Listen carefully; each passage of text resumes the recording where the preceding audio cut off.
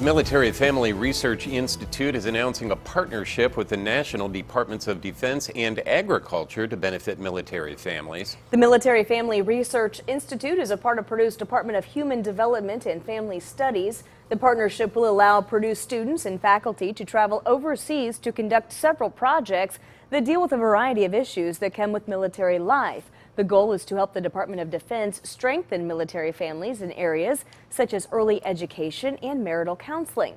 Officials say they are hoping to get the most out of the Department of Defense's programs.